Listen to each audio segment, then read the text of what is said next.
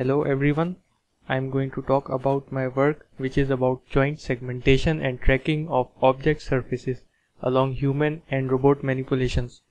It is a joint work with Babette Dellen and Carme Torras.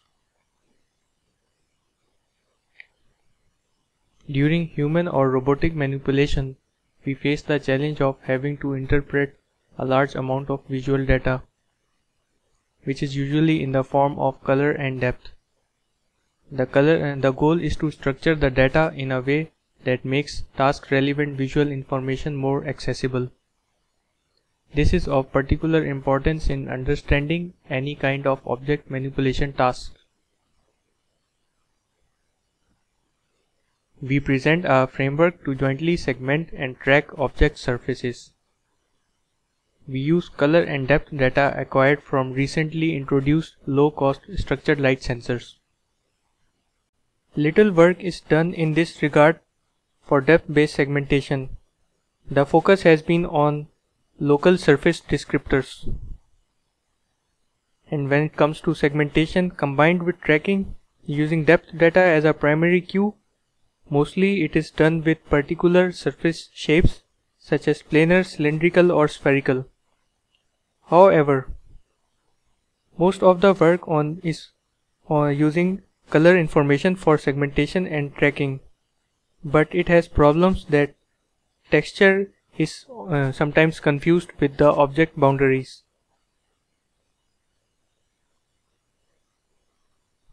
Existing segmentation algorithms rely on local geometric informations such as surface normals and jump edges. These local geometric properties do not give much information about the location of a surface and existing depth-based tracking algorithms are restricted to particular surface shapes such as planar, cylindrical or spherical. So it re restricts the tracking algorithms to these shapes. What we do is we determine global surface model parameters which encode how sample points are embedded in the 3D space. Now I will explain each step in detail. We compute an initial segmentation for the first frame. And then we transfer the previous frame labels to the next frame and define quadratic surface parameters for each segment. Now I will explain each step in detail. Once we, uh, we compute an initial segmentation for the first frame, an initial labeling for the first frame is computed using a method proposed earlier. A quadratic surface model is used to fit data corresponding to every segment.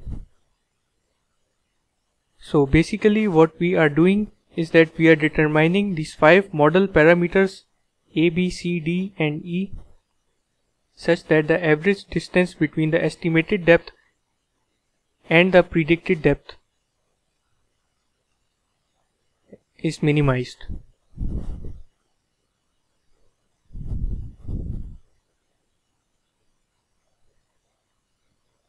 Once we have determined the model parameters, we project the labeling from current frame to the next frame and unlabel the points that do not fit the surface.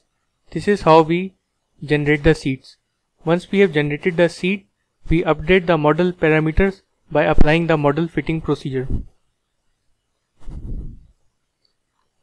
For relabeling, we simply determine that which segment is giving the minimum distance between the actual depth and the estimated depth. So these are the estimated depths using different model parameters and we determine the label which gives us the minimum distance and use this as the new label for the non-seed points. So I will explain these three steps in detail. So we have an initial labeling segment 1 and segment 2 at frame T and after seeding and updating the model parameters we determine these two seeds for the two segments and these points are now unlabeled and during the region growing procedure we determine which segment gives the minimum distance for the non-seed points and this is how we determine the uh, new labels. We assume relatively small motion of objects between consecutive frames. So an object cannot grow or shrink out of proportion from one frame to next. And if this happens, we assume that there has been false assignment and we need to perform regrouping to maintain temporal consistency.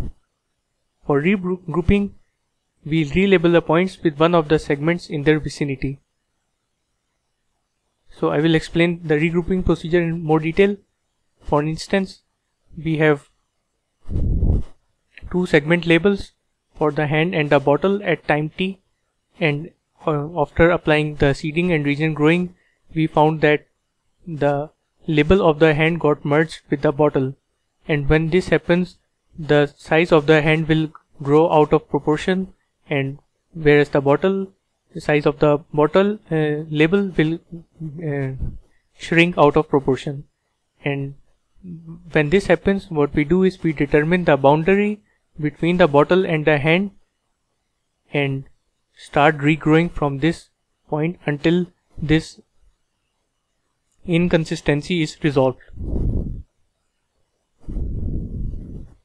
Finally, I will show you the results. In this example, the first column shows the depth image, the second column shows the segmentation and tracking with our approach, third column shows the ground truth and the fourth column we show the algorithm when uh, of a color based segmenter. We can see that compared to the color segmenter our uh, our results were less over segmented. And also sometimes it, it was under segmented. For example this uh, box the color segmenter was unable to segment. In this is another example with a human hand manipulating a box and we can deduce similar results. For the color segmenter we can see that the hand got merged with the background whereas in our case it, this did not happen. Here is a video showing the segmentation and tracking.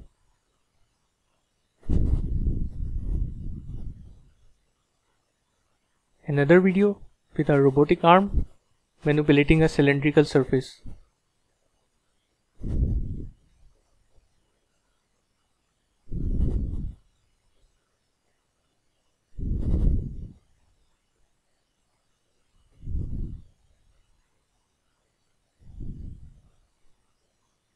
This example shows tracking of multiple leaves of a plant.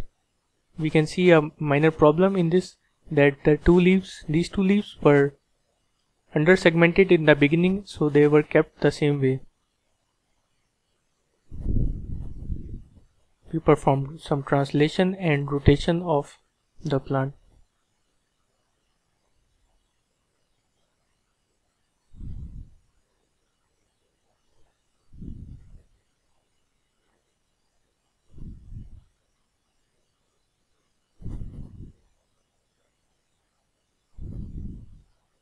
This is the last example that we show in which a human hand is rolling a ball on a surface.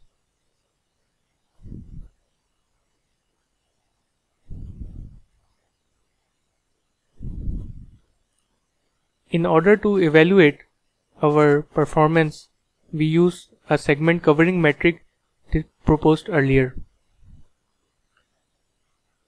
For this segment covering metric eh, thus is that it determines the percentage of overlap between the ground truth labeling and the labeling that we get using our algorithm. So it basically tells about uh, uh, the percentage uh, of uh, correct segmentation. A hundred percent means uh, a perfect segmentation. And we use this segment covering metric to mm, test uh, our three different videos and the blue line gives the segment covering metric using our segmentation algorithm and the red gives the segment uh, covering metric using a color based segmenter and we can see that our algorithm performed better.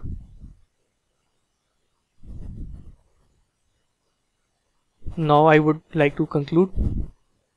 The algorithm allowed us to segment and track the main object surfaces in the scene despite noise in depth data from the Kinect camera and frequently occurring occlusions.